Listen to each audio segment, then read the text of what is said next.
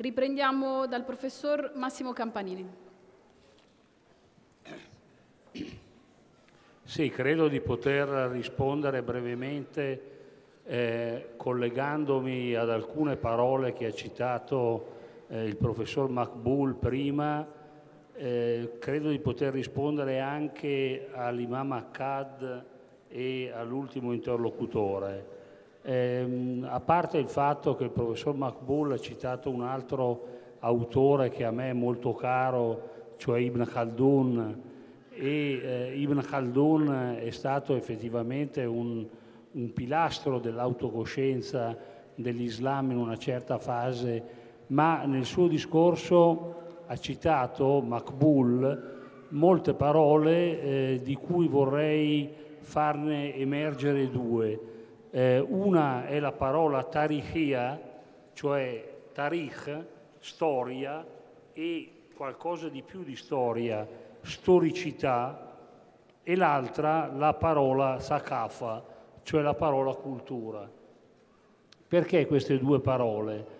Eh, perché queste due parole non sono parole di Gazzali, eh, nel senso che non fanno parte del vocabolario di Gazzali.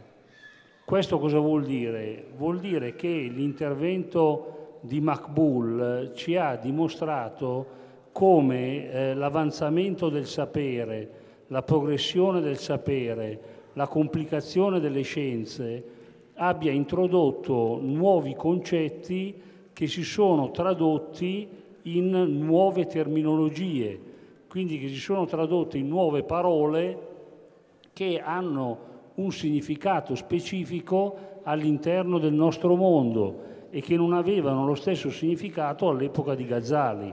Quando Ghazali parla di Iktisad non intende l'economia, ma intende, come si usa oggi nell'arabo moderno, ma intende il giusto medio, la via mediana.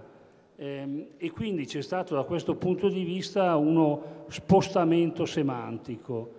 Eh, credo questa osservazione di Idris Makbul eh, molto interessante e mi serve per dire una parola riguardo a quanto notava eh, Nader Akkad eh, e anche eh, l'ultimo interlocutore. Cioè Nader chiedeva cosa si può fare anche.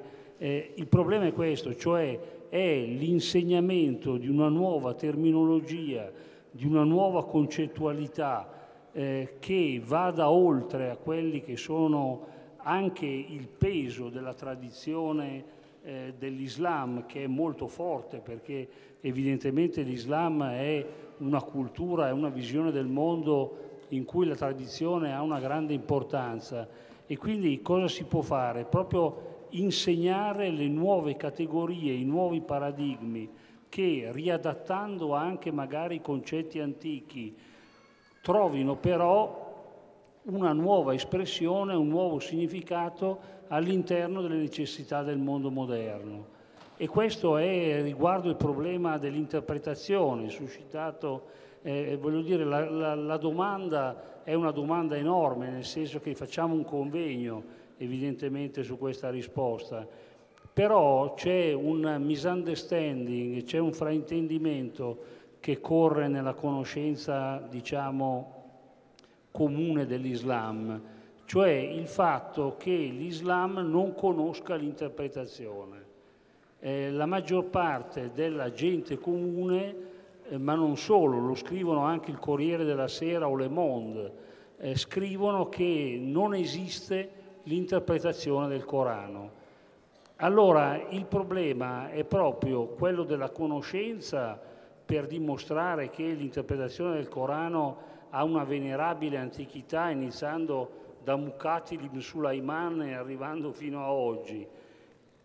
E aggiungendo il fatto che il problema della tarikhia, cioè il problema della storicità, è uno dei problemi interpretativi di fatto a cui la nuova cultura musulmana si deve confrontare, che ha di fronte a sé, ma il problema della storicità non è soltanto, anzi non è tanto un problema che riguarda la storicizzazione del testo, ma che è un problema che riguarda la collocazione del testo all'interno della storia, sia dal punto di vista eh, dell'epoca del profeta e quindi evidentemente dell'esperienza eh, profetica di Muhammad e della rivelazione del Corano in quel contesto, sia quanto potrebbe essere una, chiamiamola così, seconda rivelazione del Corano all'interno del mondo contemporaneo.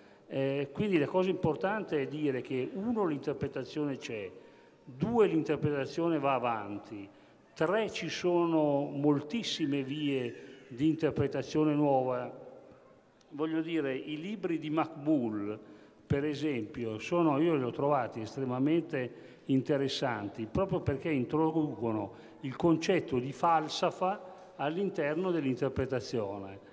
E quindi da questo punto di vista c'è tutto un movimento di crescita, di, eh, di effervescenza all'interno di questo tipo di discorso che dice che sì, quella cosa c'è, quell'interpretazione c'è, quel tentativo di interpretazione c'è.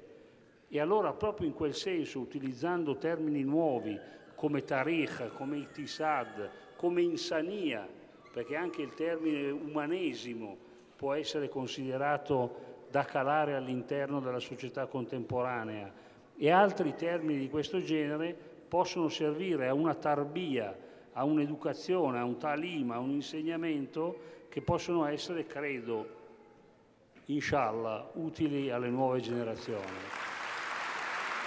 Grazie professore.